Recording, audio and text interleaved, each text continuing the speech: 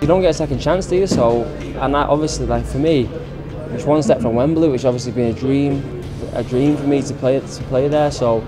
Uh, it's going to be exciting. I can't wait. You know, it's not. It's nerves, but it's exciting nerves, and I just literally can't wait just to get on the field now and play and just do a job. I think it's just time just to get on the field now and just show everyone what, what like what we're about. This is the time of year you want to be playing well, and if we can um, if we can replicate that form that we played with last week and the weeks before, and then we'll give ourselves a chance. But like I said, we're under no illusions. Hull KR are going to be a quality side, and they're, they've got some real strike players that can hurt you and really punish you if you're not in your money. It doesn't excite me standing here next to it. Um, it only excites me when you actually got it in your hand and you know you've achieved it. Uh, the prospect of having that sort of opportunity again is very special.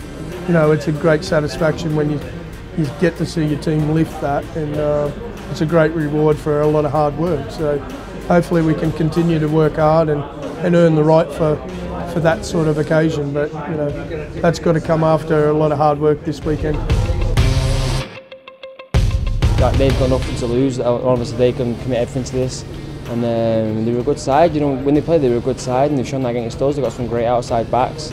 Um, but really, they get them going forward, and we need to control that and slow and uh, slow them down, and just make sure that we can do a job on them rather than obviously like, let them do what they want to do.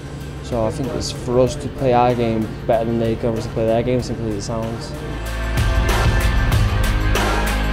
Yeah, certainly hope so. I mean, every year you want to win things, but when it comes to your last one and you want to go out on a high and you want to end on a high, and a nice Wembley trip would be a, a nice way to go out. So we've been very fortunate to play in some big games at Wembley and, and enjoy that experience, and it's an incredible experience. Uh, obviously, it's, it's a, you, you feel very fortunate to play there, and we know what that stakes. But like I say, it's you've got to get there first, and we know we've got a tough test against Hull KR.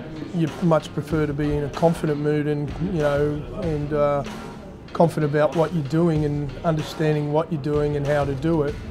So that doesn't guarantee you to. Uh, necessarily doing it on the day. That's the beauty of sport. That's why there's odds on the board here, and that's why the favourite doesn't always win.